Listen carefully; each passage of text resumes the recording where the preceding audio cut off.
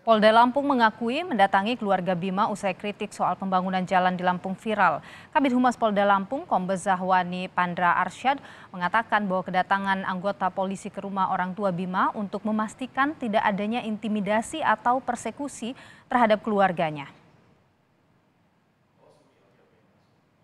Untuk melakukan penyelidikan, pengecekan kepada keluarga daripada saudara Bima seorang pengunggah daripada sosial media tersebut untuk memastikan kembali bahwa keluarga dari yang bersangkutan dalam keadaan sehat dan saudara Bima adalah bagian daripada keluarga tersebut.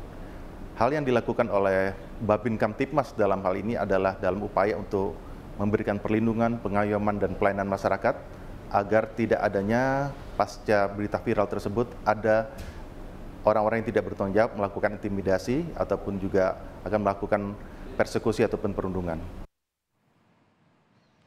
Sementara itu, Wakil Gubernur Lampung, Cusnunia uh, Chaum mengaku bahwa pihaknya berupaya untuk maksimal membangun Lampung di tengah anggaran yang terbatas. Cusnunia enggan menanggapi secara berlebihan soal kritik terkait pembangunan di Lampung. Ia memastikan pemerintah provinsi bekerja serius.